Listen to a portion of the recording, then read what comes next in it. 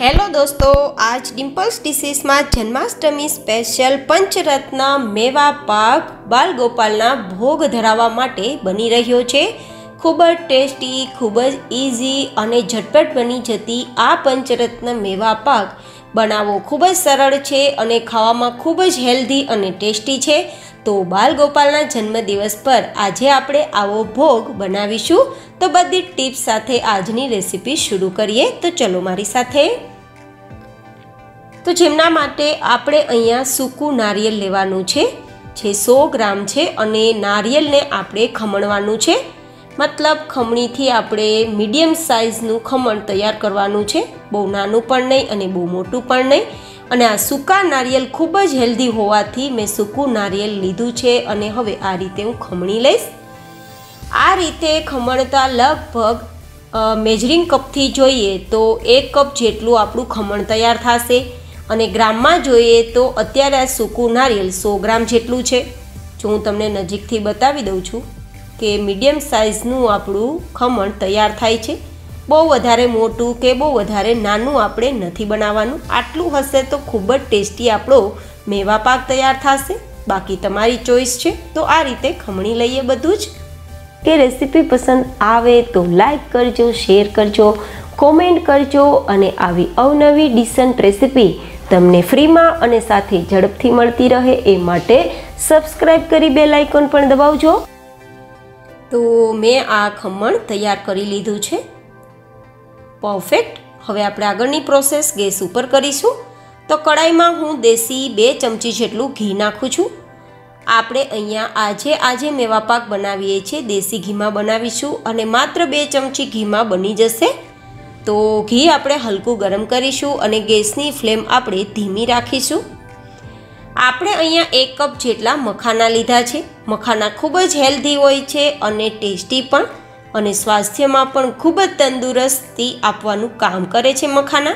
તમને કોઈ પણ પ્રોવિઝન સ્ટોરમાં મખાના મળી જશે અને એક એ ડ્રાયફ્રૂટનો જ પ્રકાર છે.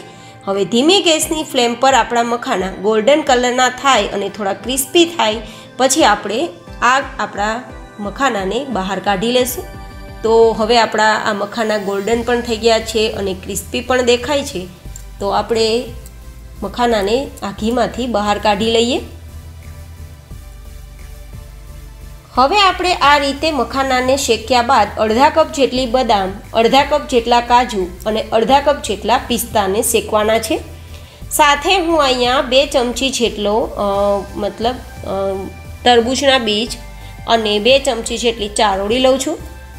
તમે અહીંયા ગુંદને પણ તળીને લઈ શકો છો અને આ રીતે મેં જે પ્રોસેસથી બનાવેલું છે એ પ્રોસેસથી પણ પંચરત્ન મેવા પાક બનાવી શકો છો. પરંતુ ઘણી બધી વ્યક્તિઓ ગુંદ ખાવાનું પસંદ નથી કરતા, તો મેં આજે ગુંદને એવોઇડ કર્યો છે.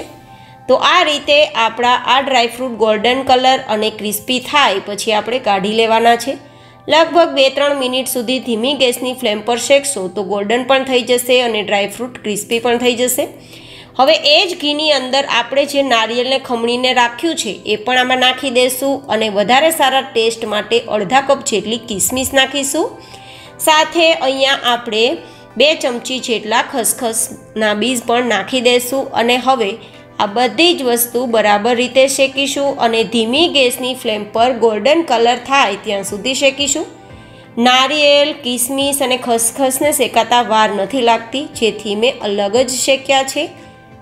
તો લગભગ બે મિનિટમાં બધું શેકાઈ ગયું છે અને શેકાઈ ગયા બાદ આપણે અહીંયા અડધી નાની ચમચી જેટલો મરી પાવડર નાખીશું. તમે સફેદ મરી પાવડર અથવા કાળા મરી પાવડર જે ઘરમાં હોય એ નાખી શકો છો. કારણ કે પંચરત્ન મેવા પાકમાં આપણે અહીંયા મરી પાવડરનો જરૂરથી ઉપયોગ કરીશું. અને મરી પાવડર નાખ્યા બાદ માત્ર એક જ મિનિટ આપણે ધીમી ગેસની ફ્લેમ પર આપણે આ મિશ્રણ સાથે મરી પાવડરને પણ શેકવાનું છે. બહુ વધારે નથી શેકવાનું, નહીં તો ખરાબ સ્મેલ આવી જશે. તો હવે આપણું આ બધું જ મિશ્રણ શેકાઈ પણ ગયું છે અને ટોપરાનું છીણ ગોલ્ડન પણ થઈ ગયું છે. તો ગેસની ફ્લેમ હવે બંધ કરી દઈશું અને બધું જ મિશ્રણ કાઢી લેશું. તો હવે એ જ કડાઈની અંદર આપણે ચાસણી બનાવવા માટે અડધા કપ જેટલી ખાંડ ઉમેરીશું અને અડધા કપ ખાંડની સામે વન ફોર્થ કપ જેટલું પાણી ઉમેરીશું. મતલબ જેટલી ખાંડ છે તેનાથી થોડું ઓછું, એટલે કે તેનાથી અડધું પાણી નાખીશું. ખાંડ ડૂબે તેટલું પાણી. અને હવે એક નાની ચમચી જેટલો એલચી પાવડર. અને આ બધી જ વસ્તુને આપણે ધીમી ગેસની ફ્લેમ પર બે તારની ચાસણી થાય ત્યાં સુધી કૂક કરવાનું છે. આ રીતે વચ્ચે વચ્ચે ચમચો ફેરવતા જશું અને ધીમી ગેસની ફ્લેમ પર બે તારની ચાસણી થાય ત્યાં સુધી આપણે ચાસણી બનાવીશું. એ ચાસણી થાય ત્યાં સુધીમાં આપણે ડ્રાયફ્રૂટ ચેક કરી લઈએ. તો તળેલા બધા જ ડ્રાયફ્રૂટ સાવ ઠંડા થઈ ગયા છે અને ઠંડા થઈ ગયા બાદ આપણે અધકચરા પીસવા માટે મિક્સર જારમાં નાખીશું. તમે ખાણી દસ્તાથી પણ અધકચરા પીસી શકો છો અને મિક્સર જારમાં અધકચરા જરૂરથી તમે જો પીસી શકતા હોય તો ઓફકોર્સ પીસી શકો. જો મિક્સર જારમાં તમે ન પીસી શકો આટલા અધકચરા, તો તમે જરૂરથી ખાણી દસ્તાનો ઉપયોગ કરશો પરંતુ પાવડર નથી બનાવવાનો.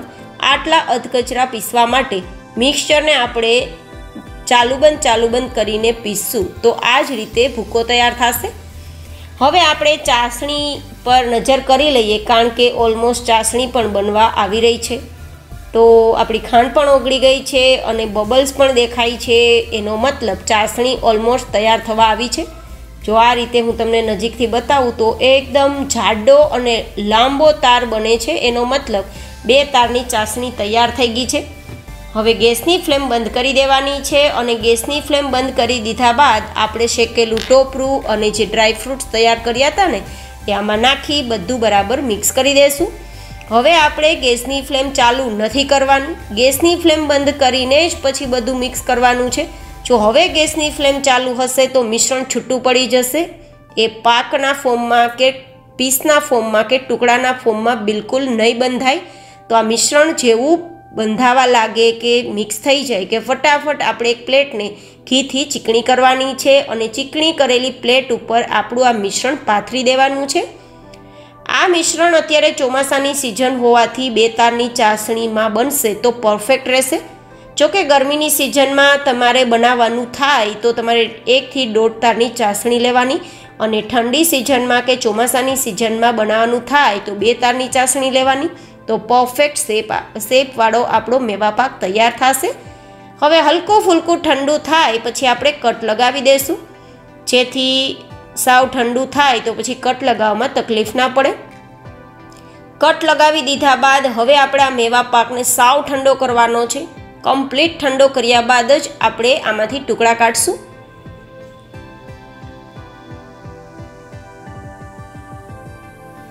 તો જો હું આ રીતે ટચ કરું છું, બિલકુલ ઠંડુ થઈ ગયું છે. બિલકુલ ગરમ નથી. તો હવે આપણે ટુકડા કાઢી લેશું અને આ જન્માષ્ટમી પર બાલ ગોપાલ માટે આપણે આ ભોગ ધરાવીશું. એકદમ ટેસ્ટી પણ લાગે છે, હેલ્ધી પણ છે અને બાલ ગોપાલના જન્મદિવસ પર આવો મેવા પાક તો જરૂરથી બને. તો તૈયાર છે જન્માષ્ટમીના પ્રસાદ માટે મેવા પાક. આવી ડિસન્ટ રેસીપી દરરોજ ફ્રીમાં જોવા માટે ચેનલ સબસ્ક્રાઈબ કરજો, લાઇક કરજો, શેર કરજો. બહુ જલ્દી મળીશું એક નવી ડિસન્ટ ડીશ સાથે. ત્યાં સુધી હંમેશા ખુશ રહો, હસતા રહો. Take care and bye bye